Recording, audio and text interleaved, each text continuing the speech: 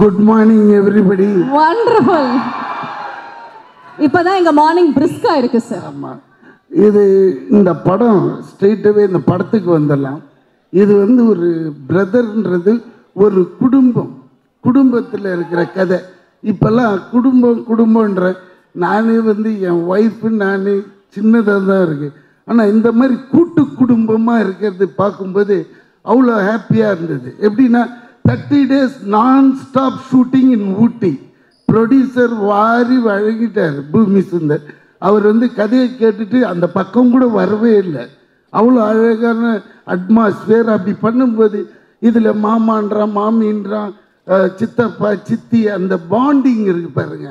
சூப்பராக இருந்தது.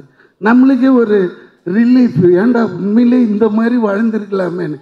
ஆக்சுவலாக நானே வாழல. பொண்டாட்டி கூப்பிட்டு தனியாக வந்துட்டேன். அம்மா விட்டு. அப்புறமா தான் ஃபீல் ஆகுது. தனியாக வந்ததுனால அப்படியே தனியாகவே போயிடுவோம். ஆனால் பாண்டிங்காக ஒரு குடும்பத்தோடு இருந்தோம்னு வச்சுக்கோங்களேன். சின்ன சின்ன சண்டை கிண்டை எல்லாம் வரும். ஆனால் அவங்களுக்கு மரியாதை கொடுக்கணும். இவங்க தப்பாக நினச்சிக்குவாங்க அப்படின்ட்டு அட்ஜஸ்ட்மெண்ட் ஆகிடும் வெளியே வந்ததுமே கிளைமேட் மாறுற மாதிரி நம்ம லைஃப்பும் மாறிடும். ஓ நம்ம பண்ணதே தப்பு தான்ட்டு போய் தப்பு பண்ணிடும். இப்போ தனியாக இருந்தால் என்ன ஆகும்னா செவுத்துலேயோ இல்லை கண்ணாடியிலையோ போய் தான் இடிச்சிக்கணும் நம்ம. நம்ம தப்புன்ட்டு. அது மாதிரி குடும்பமாக வாழணும்னு ரொம்ப ஆசை. ஆனால் இந்த படத்தை அந்த மாதிரி எடுத்திருக்காங்க. Two two and half hours enjoy பண்ணுவீங்க. அதுலேயும் ஹீரோ ஹீரோயின் ரொம்ப ஒர்க் வாங்கியிருக்கார் டைரக்டர் அதுக்கேற்ற மாதிரி ஹாரிஸ் சார் நல்ல ஒரு சாங் எனக்கு அந்த இந்த சாங் ரொம்ப பிடிச்சிச்சு மாஸ் சாங் அது. அது ரவியும் ரொம்ப கஷ்டப்பட்டு ஆடி இருக்காரு உங்களுக்கு பார்த்தா அப்படி போயிடுது. அந்த ஒரு ஒரு மூமெண்ட்ஸும் போட்டு எடுக்கிறதுக்குள்ளால இங்கெல்லாம் இழுத்துக்கும். ஏன்னா நம்ம தான் பார்த்து சார் அந்த ஸ்டெப் ட்ரை பண்ணீங்களா சார் நீங்க?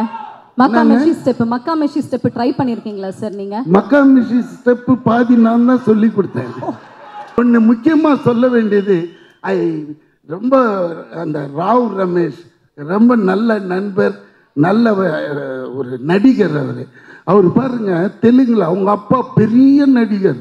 இவர் அங்கே தெலுங்கில் பெரிய டேட்ஸே இல்லாமல் அங்கே நின்றுன்னு இருக்காங்க. அவர் பாட்டுக்கு இங்கே வந்துட்டு எனக்கு தமிழ் தான் தமிழ் தான் போது அப்படியே நம்மளுக்கே கிளுகிழுப்பாது ஏன்னா அவர் அவ்வளோ தமிழை நேசிக்கிறாருன்னும் போது தான் நம்மளுக்கு நம்ம அருமையே தெரியுது.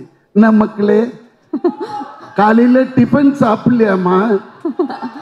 சவுண்டே காணுமே. சார் நீங்க வந்தோடனே எல்லாம் வேற லெவல்ல போரு, போரு,